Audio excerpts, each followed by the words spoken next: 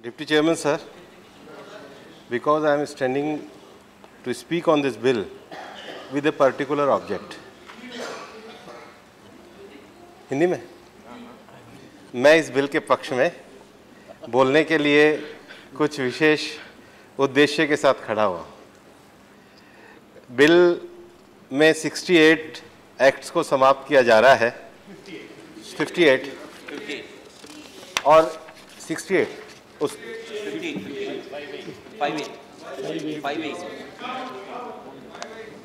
लेकिन, मेरा यहाँ पे जो बहुत आपके माध्यम से संक्षिप्त में जो कहने का एक इस समय जो मेरा प्रयोजन है, वो ये है कि पहले जब लगभग 1200 से ज़्यादा कानूनों को समाप्त इसी सरकार के पहले कार्यकाल में हुआ था, तब सेलेक्ट कमेटी बनी थी। और उस समय सेलेक्ट कमेटी ने एक रिकमेंडेशन दी थी। ये रिपीलिंग एंड अमेंडिंग का प्रोविज़न इसलिए डाला जाता है कि जनरल क्लॉजेज एक्ट का जो सेक्शन सिक्स है सेक्शन सिक्स के कारण ऑटोमेटिक रिपील क्लॉज जो है, वो उसमें नहीं है। अगर हम जनरल क्लॉजेज एक्ट का जो सेक्शन सिक्स ए है, भविष्य में कभी लेजिस्लेटिव डिपार्टमेंट अगर उसके संबंध में विचार करे तो बहुत सारे जो कानूनी विधेयक हैं, वो इसलिए लगातार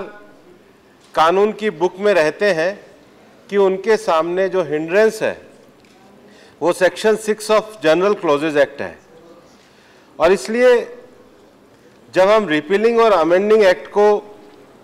ये जो जितने भी कानून हैं, और सामान्यतः जितना भी बिल या फाइनेंशियल बिल में ये प्रोविज़न आता है, उसमें जो सबसे बड़ी समस्या दोनों विषय से एक तो रिपीलिंग अमेंडिंग एक्ट है एक इससे ज़्यादा बड़ा और जो विषय है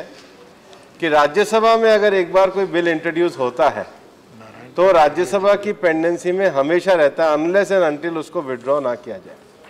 अभी कुछ दिनों पहले चेयरमैन साहब के वक्तव्य में भी आया था शायद कुछ बिल तो यहाँ पे मैं अगर दशकों से यहाँ पर लंबित है तो राज्यसभा का नियम की प्रक्रिया इससे जुड़ी हुई नहीं है, वो अलग है। लेकिन मैं आपके माध्यम से केवल यही एक विषय कहने के लिए माननीय विधि मंत्री जी से निवेदन करने के लिए खड़ा हुआ हूँ कि अगर वो general clauses act section six A को लेजिस्लेटिव डिपार्टमेंट से अगर एक बार स्क्रूटनी कराएँगे, और ये बाद में जो प्रोविज़न रिपीलिंग का जो है, ये जो बिल पार्लियामेंट में आते हैं, उसके क्लॉज में ही अगर होंगे तो बिल का प्रयोजन समाप्त होने के बाद निश्चित रूप से ये एक ऐसी प्रक्रिया होगी कि बार बार संसद में रिपीलिंग और अमेंडिंग एक्ट आना बार बार डिपार्टमेंट के द्वारा पहले तो लेजिस्लेटिव डिपार्टमेंट को लिखा जाना कि अब ये बिल प्रयोजन वाला नहीं है, फिर लेजिस्लेटिव डिपार्टमेंट के द्वारा एग्जामिन करना, फिर वो बाद में घूम के सरकार के पास आना, फिर वो लिस्ट में जाना। ये एक ऐसी अनवरत प्रक्रिया है और मेरा ये मानना है कि जब हम मिनिमम गवर्नेंस की बात करते हैं मिनिमम गवर्नमेंट और मैक्सिमम गवर्नेंस की बात हम करते हैं। तो उसका उद्देश्य ये है कि हमारे गवर्नेंस के कानून इतने ट्रांसपेरेंट तरीके से हों और ये जनरल क्लॉजेज एक्ट भी एक लंबे समय से पुराना एक्ट है, उस पर रिविजिट करना चाहिए। और मैं मानता हूँ कि हमारे माननीय विधि मंत्री जी एक बड़े विद्वान वकील हैं और हमारे सीनियर वकील भी रहे हैं और वो इस विषय की जो उसका जो विषय का जो गहराई है, उसको समझेंगे। और आने वाले समय के लिए देश में